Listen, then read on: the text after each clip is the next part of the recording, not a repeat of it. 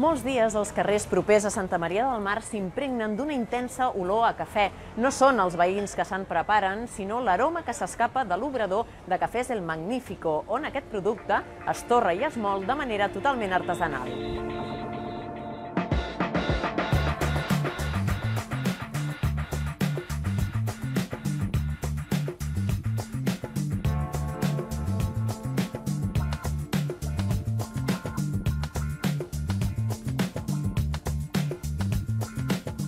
Representes la tercera generació d'aquest negoci familiar que busca, selecciona i torra cafès d'arreu del món. Salvador, com has rebut tot aquest coneixement que has viscut ja des de petita casa?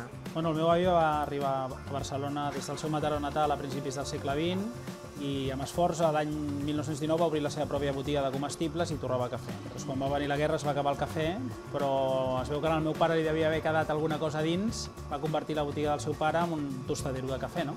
De petitet ja hi anava molt i a part d'aquestes coses que els botiguers inculquen als seus fills, de tractar bé la gent i de, i de cuidar del producte, doncs a mi també em va enamorar el cafè. Salvador va ser el primer en introduir al nostre mercat els cafès d'alta gamma. Com se seleccionen els millors grans ja en origen? Quan és el moment eh, propici cada any, perquè el cafè és un producte de la terra, per tant és un producte de temporada, rebem mostres. Aquestes mostres són de cafè cru, lògicament, i nosaltres el que tenim és un torrador de mostres de 100 grams i els torrem i catem. Aquí et presento un cafè d'Etiòpia, conreat a quasi 2.200 metres, quan més alt es conrea el cafè, molt millor. Molt afruitat, amb tonalitats eh, de, de mandarina, de bergamota, tota una gamma de cítrics i amb uns aromes florals molt forts. No té molt cos, però és quasi un perfum. L'altre cafè que et volia presentar és aquest eh, cafè de El Salvador, un país on es conrea un varietal que es diu Bourbon. Està conreat a menys altitud, a uns 1.200-1.300 metres, té una mica menys d'acidès, té alguna més de cos i és un sabor molt més achocolatat, tira més aquests sabors eh, clàssics del cafè que tots coneixem, no? Importeu els grans i aquí els torreu sempre en petites quantitats per mantenir la seva frescor i matisos, tot a través d'aquesta màquina torradora que tenim aquí. El procés, però, no és igual eh, per a tots els cafès, oi? El cafè és una llavor crua que no té ni gust ni aroma de res i té tamanys diferents. A més, tenen uns aromes hem de tornar-lo més claret o, o més fosc per potenciar aquests aromes, jugant amb la temperatura del cremador, jugant amb l'aire que pot entrar en el cremador i també jugant amb la rotació del bombo.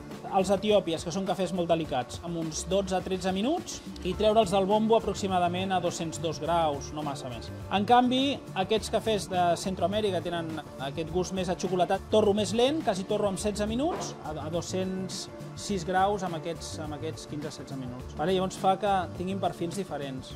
L'aroma és un dels trets característics del cafè i tot un món en si mateix. Què determina les seves característiques?